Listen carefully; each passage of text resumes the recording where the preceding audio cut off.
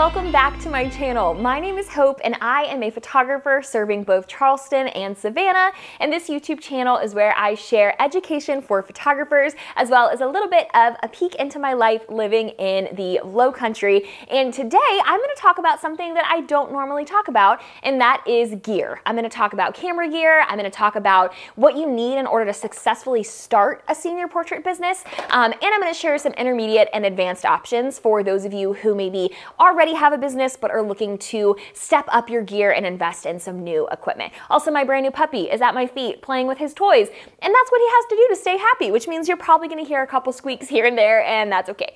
Um, but before we dive into today's content, I wanted to tell you that there is a free gift for you in the description down below, and it is my full senior gear checklist. So it is everything that I use in my own business currently, right now, um, from everything, like literally everything that's in my bag. All my cameras, all my lenses, all my gear that I take with me to senior sessions and links to all of it. So if you want a full checklist, that's down in the description below. It's completely free, just as my gift to you to say thank you for watching. But today we are gonna talk specifically about the gear that you need to start a business, and it might be a little bit less than you think. So what I'm gonna do is I'm gonna talk about cameras and lenses, and then I'm gonna talk about accessories that you need. Um, but with the cameras and the lenses, I'm gonna give kind of a beginner, an intermediate, and an advanced option from a budget perspective. If you're a photographer um, that is established and already has a business but wants to upgrade their gear, there'll be an option for you. If you're somebody who has never owned a camera before but you're looking to start a business, there'll be an option for you.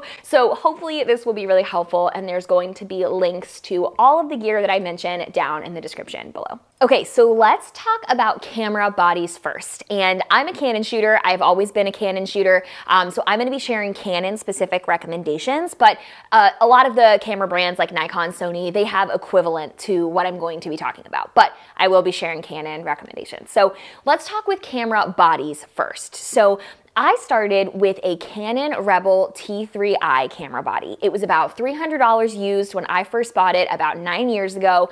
And that series of cameras, the Canon Rebel series, are what I will always recommend as starter cameras for anybody because I think they're the perfect balance of having professional quality DSLR images, but without the complexity and the price tag of something like one of the brand new mirrorless cameras. So there's a lot of different Canon Rebel cameras at varying price points. There's T5, T6, T7, T7i. There's a lot of different varieties. I'm gonna link a few below, including the one that I started with.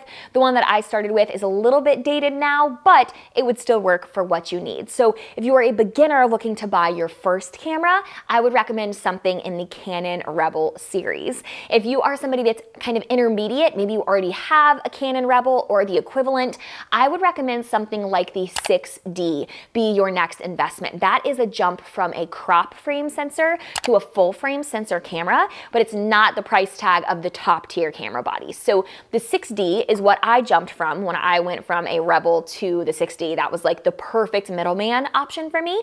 So the Canon 6D is what I would recommend for somebody that's a little bit more intermediate.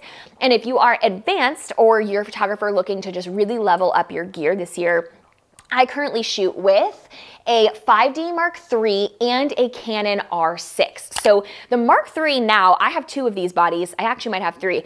Um, this is what I have shot with for almost all of my professional career. Um, however, at this point, they are now pretty dated. Um, they're pretty cheap compared to, I spent almost $3,600 on these bodies when I bought them back in, I wanna say 2015 or 2016. Um, they're very sad and old and they probably need a lot of repairs and replacements done to them, but they're my tried and true. I love them to death. This is a great kind of intermediate slash advanced option. It's a little more expensive than the 6D, but it is an amazing camera body.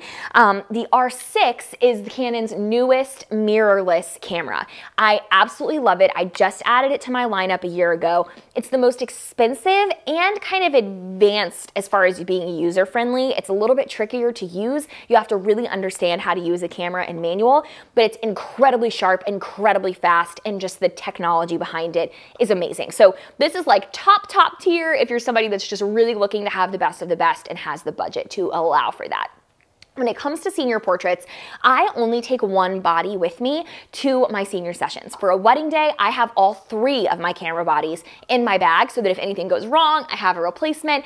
I don't think that's quite as necessary for a senior photographer. I think it's necessary to have some type of backup so that if something does go wrong, you know that you have a backup camera to go to. Um, but I don't think it's as necessary to have duplicates of the exact same body because it's much less likely that something's gonna go wrong at a two hour portrait session compared to a 10 hour wedding day. So a 50 millimeter is what I would recommend to you if you are just starting out in your senior portrait business, or if you wanna level up your current 50 millimeter lens, I'm gonna list all my favorite options. So for a beginner, my favorite option would be the Canon 50 millimeter 1.8. It is a lens that is around $100. It is an amazing starter option for you um, because it creates really beautiful, crisp images with a lower aperture and a really beautiful focal length. So the 50 millimeter 1.8 is what I would recommend to anybody wanting to get started with senior portraits.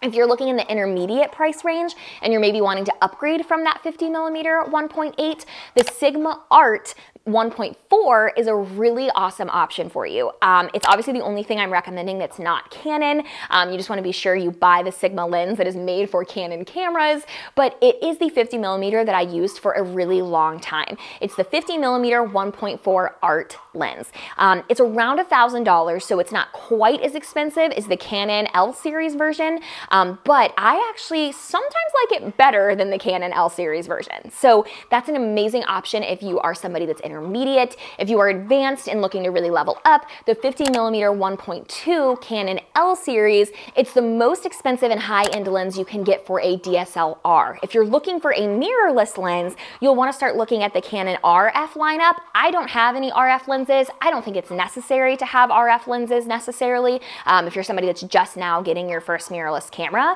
but that would be then like the advanced, advanced level that I don't even have. So those are the 50 millimeters that I would recommend. Again, Again, they are all linked in the description. Okay, so now let's talk about some must-have accessories um, because these are all, some of them are kind of common sense and then some of them are things that I didn't think about needing um, until I was a few years into my business. Also, my puppy is playing with his Kong in the background and there's cheese in it and he's trying really hard to get at it. So sorry if you hear that noise.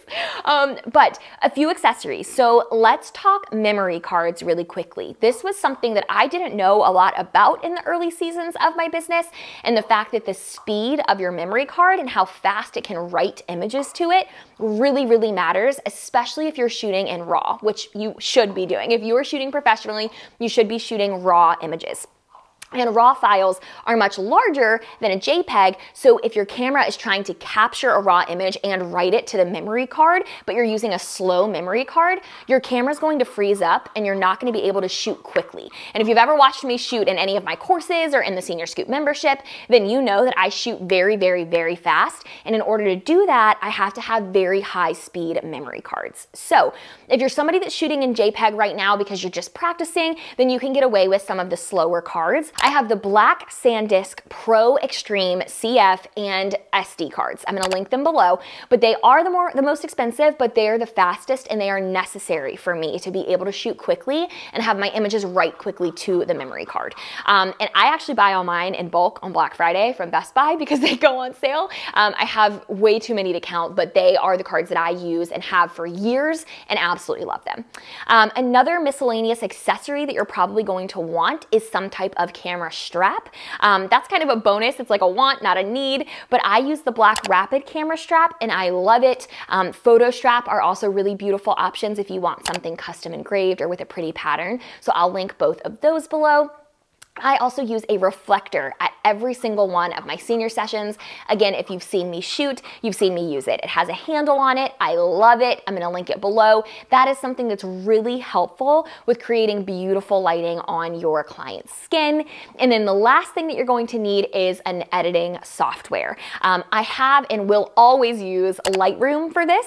Um, you can create an Adobe account and download Lightroom. You can also download the bundle that has Lightroom and Photoshop, which is what I have have and highly recommend. I edit all of my images for the lighting in Lightroom, and then I do any beauty related blemish fixes or more advanced edits in Photoshop. But those are pretty much the basics of what you need to get started in the senior portrait world. My hope is that this was kind of reassuring and encouraging to you if you're somebody that's trying to get started and overwhelmed with all of the lens options that you could get, um, to hear that you might only need one. Starting with that 50 millimeter could get you as far as you need to go because like I said, I'm 10 years in and I still shoot almost all of my sessions with the 85 millimeter. So I hope this video was helpful to you guys. And again, if you wanna download that free checklist in the description, it has links to all of these things and some of my other lenses that are in my bag and in my kit. I hope this was useful. I would love to have you subscribe to watch my new videos every single week. But until next time, bye y'all.